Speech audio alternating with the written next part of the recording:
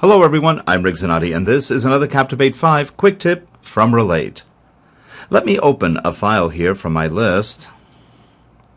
Notice that files open very quickly in Captivate uh, 5 and I'm going to open another file right now. And you're thinking you can't open another file in Captivate. Well actually now you can. So in this case I'm going to open a different file so now we have two files and up here on the tab you can see both files open. I can drag one file the other way so I can have a different order for my files. So now we have two files open. Let's say I want to take the opening screen from this one. I can do a copy and go into the second or Captivate that we've got open and I want to insert and do a paste and I can copy slides from one to the other simply by copying and pasting between open applications.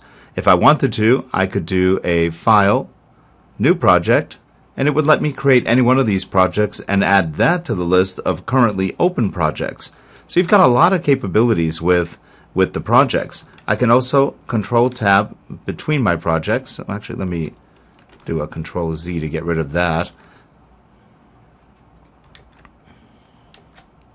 So we are now control tabbing between the projects. Let me bring that project up, get rid of that slide that we did. Okay, so now as I hit control tab, you can see that we are switching between projects. This is a great productivity time saver and something you couldn't do in any previous version of Captivate.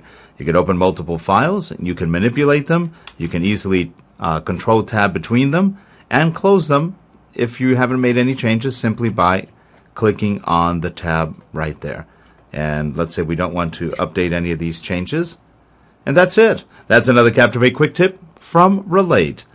Uh, hope you enjoyed this one, and we will catch you next time. Thanks for watching.